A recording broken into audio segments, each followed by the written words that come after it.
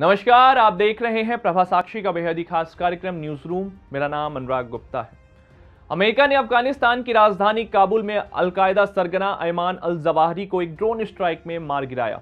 इसकी जानकारी खुद राष्ट्रपति जो बाइडन ने दी। उन्होंने बताया कि अलकायदा सरगना ऐमान अल जवाहरी काबुल में हवाई हमले में मारा गया। चाहे कितना भी समय लगे, चाहे आप कहीं भी छिप जाएँ, अगर आप हमारे लोगों के लिए खतरा हैं तो अमेरिका आपको ढूंढेगा और बाहर निकालेगा।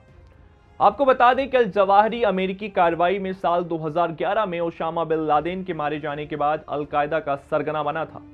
करीब दो दशक तक चलाए अभियान के बाद अमेरिकी सैनिकों के अफ़गानिस्तान छोड़ने के 11 महीने बाद एक महत्वपूर्ण आतंकवाद विरोधी अभियान में अमेरिका ने यह सफलता हासिल की।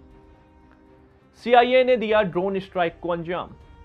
प्राप्त जानकारी के मुताबिक अमेरिका की खुफिया एजेंसी सीआईए की एक टीम ने इस ड्रोन स्ट्राइक को अंजाम दिया।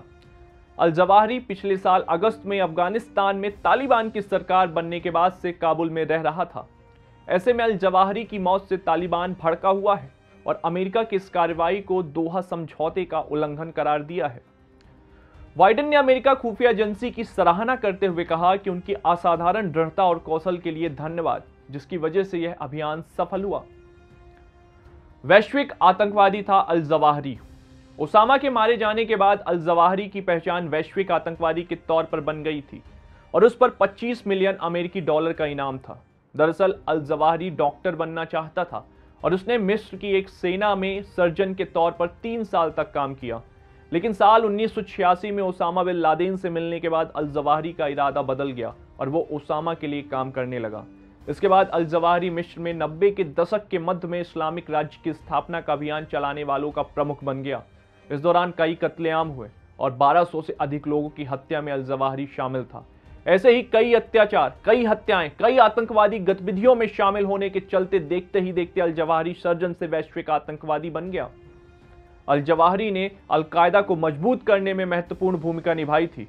पहले उसने ओशामा की छत्र छाया में काम किया और बाद में उसके उत्तराधिकारी के तौर पर खुफिया विभाग के एक वरिष्ठ अधिकारी के अनुसार अल जवाहरी जिस घर में मारा गया, वह तालिबान के शीर्ष सरगना सिराजुद्दीन हक्कानी के एक शीर्ष सहयोगी का है।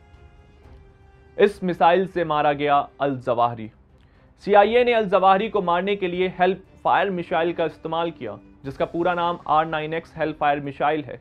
इस मिसाइल से बच पाना लगभग नामुमकिन है, क्योंकि इसमें बारूद, कम और ब्लेड्स नुमा धारदार धातुओं का ज़्यादा इस्तेमाल होता है। इस मिसाइल में सेंसर और कैमरे लगे होते हैं, जिसके ज़रिए लक्ष्य को भेजने तक की पूरी जानकारी मिलती है। पिछले कुछ सालों में अमेरिका ने इस मिसाइल का इस्तेमाल बढ़ाया है। अगर आप भी लेना चाहते हैं देश दुनिया की तमाम जानकारी तो आज ही सब्सक्राइब करें हमारे चैनल को। साथ ही नीचे दिए बेल आइकन को ज़रूर दबाएँ ताकि हर अपडेट आप तक पहुँच सके।